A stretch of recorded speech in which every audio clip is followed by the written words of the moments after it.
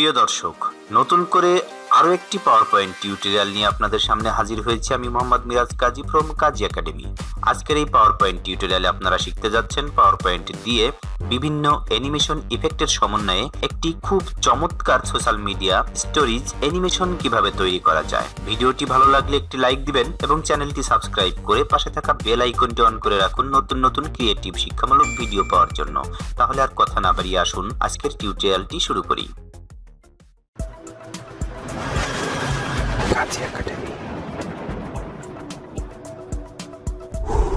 প্রথমে power point open করুন এবং পাওয়ার পয়েন্ট ওপেন করার পর দুটি বক্স পাবেন। এই বক্স দুটিকে সিলেক্ট করে ব্যাক স্পেস দিয়ে রিমুভ করে দিন।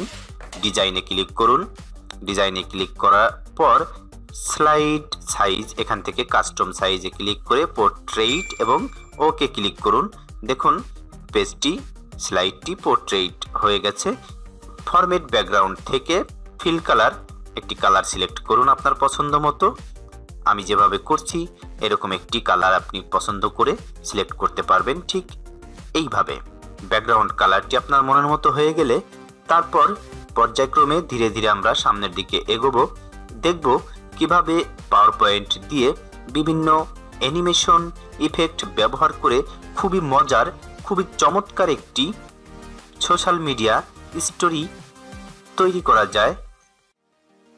তা দেখতে এবং শিখতে ভিডিওটি শুরু থেকে শেষ পর্যন্ত দেখুন এবং কাজী একাডেমির সাথেই থাকুন। ইনছাটে ক্লিক করে একটি রেক্ট্যাঙ্গেল শেপস নিয়ে ঠিক এরকম লম্বা করে একটি রেখা তৈরি করুন, একটি শেপস ড্র করুন। যতদূর সম্ভব এটিকে একটু চিকন করে দিন। চিকন করে দেওয়ার পর শেপস আউটলাইন থেকে নো আউটলাইন সিলেক্ট করুন এবং শেপস ফিল আপনার পছন্দ মতো একটি ফিল কালার দিয়ে দেবেন।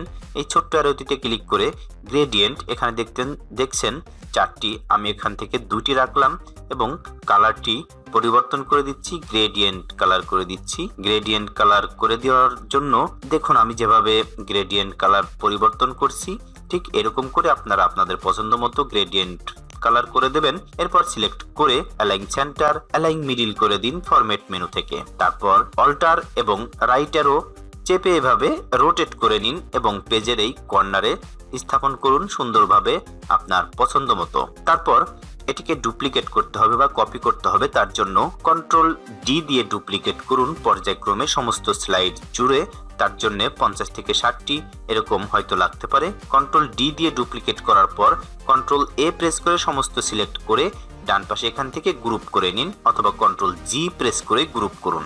এবার পেজের উপরের দিকে ভাবে টেনে স্থাপন করে দিন। স্থাপন করে দেওয়ার পর ইনসার্ট থেকে আরও একটি রেক্ট্যাঙ্গেল শেপস নিয়ে আমি যেভাবে ড্র করছি, ঠিক এরকম করে ড্র করে দিন।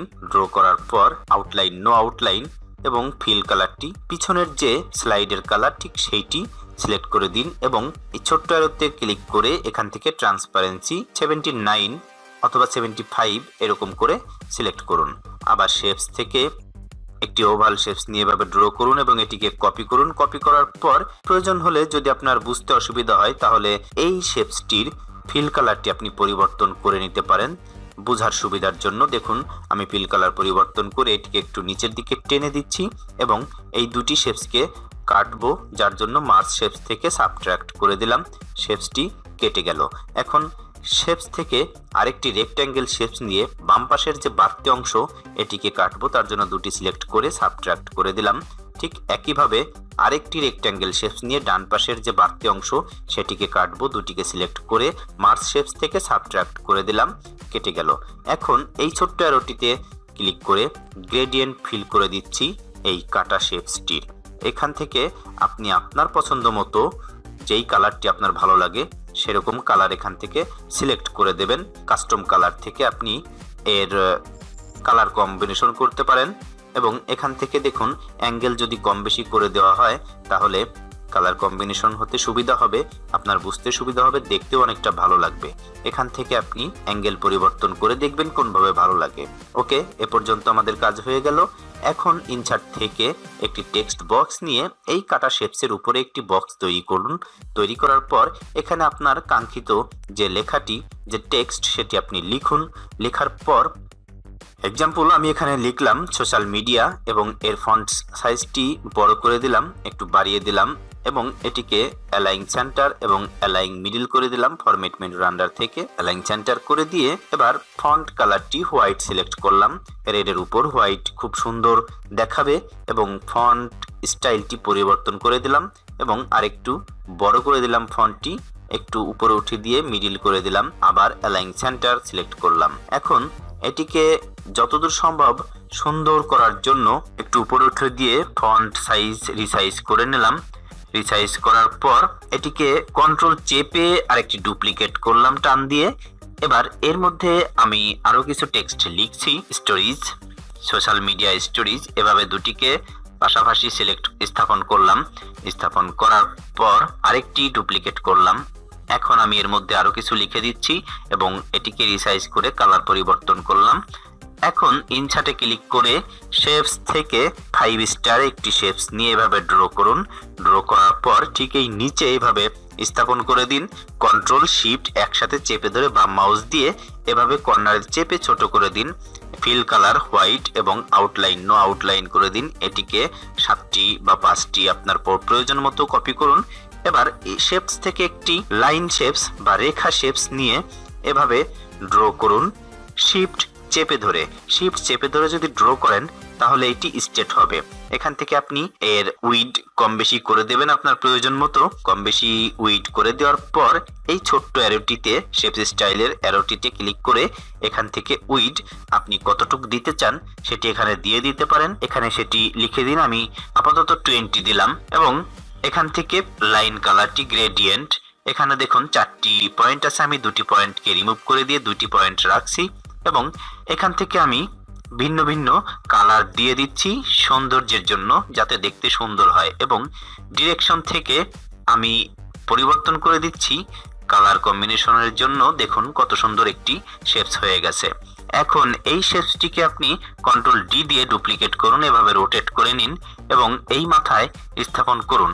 দেখুন, এখানে শিফট চেপে ধরে এই পয়েন্ট ধরে নিচের দিকে টান দিলে এটি স্টেট বা সোজাভাবে নিচের দিকে বড় হবে। তারপর এটির কালার আপনি ডিরেকশন পরিবর্তন করে দিয়ে দেবেন, যাতে কিনা দেখুন এখানে দুটি লাল একসাথে মিশে গেছে, দেখতে খুবই চমৎকার হয়েছে, খুবই ভালো লাগছে। এবার এটিকে আবার একটি ডুপ্লিকেট করে নিচে স্থাপন করে দিন এবং ডান পাশটিতে, ডান পাশেরটি আরও একটি কপি করে এ পাশে নিয়ে আসুন এবং চারটিকে এভাবে কন্ট্রোল চেপে বা মাউস দিয়ে সিলেক্ট করে রাইট মাউস ক্লিক করে সেন্ড টু ব্যাক করে দিন। তারপর এই যে রেখাগুলো দেখতে পাচ্ছেন, এটিকেও সেন্ড টু ব্যাক করে দিন রাইট মাউস ক্লিক করে। তারপর এই টেক্সট বক্সটিকে একটি ডুপ্লিকেট বা কপি করুন। কপি করার পর ফরম্যাট থেকে অ্যালাইন সেন্টার করে নিন এবং সমস্ত টেক্সট সিলেক্ট করে আপনার প্রয়োজনীয় অন্য কোনো টেক্সট আপনি এখানে লিখুন। লেখার পর দেখুন, এখানে এখন একটি পিকচার ইনসার্ট করব। পিকচারে গিয়ে যেখানে আমার পিকচারটি রাখা আছে, সেখান থেকে ইনসার্ট করে নিলাম। ইনসার্ট করে নিয়ে যথাযথ স্থানে বসিয়ে এটিকে চওড়া এবং হাইট রিয়ারেঞ্জ করে টু ব্যাক করে দিলাম। এটিকে আরও একটু নিচে স্থাপন করে দিচ্ছি, নিচে বসিয়ে দিচ্ছি। তারপর ইনসার্ট থেকে আরেকটি শেপস এই শেপসটি নিয়ে এভাবে শেপস ড্র করলাম। হলুদ পয়েন্ট ধরে এভাবে একটু অ্যাঙ্গেল করে দিলাম, যতদূর সম্ভব এটি মিডিলে রাখার চেষ্টা করছি। এই ছোট্ট অ্যারোটিতে টিক দিয়ে আবারও গ্রেডিয়েন্ট এবং এখান থেকে ডিরেকশন চেঞ্জ করে দিচ্ছি। দেখুন, ক্রমশই সুন্দর এবং চমৎকার হচ্ছে আজকের ভিডিওটি। দেখে হয়তো আপনারা শিখতে পারছেন কীভাবে একটি চমৎকার সোশ্যাল মিডিয়া স্টোরি তৈরি করবেন। এর পরবর্তীতে আমি এই ভিডিওর শেষে আপনাকে দেখিয়ে দেব কীভাবে এটি আপনি হাই কোয়ালিটি ভিডিও হিসাবে সেভ করতে পারবেন, সংরক্ষণ করতে পারবেন। তার জন্য কিছু কোড আমি ব্যবহার করেছি।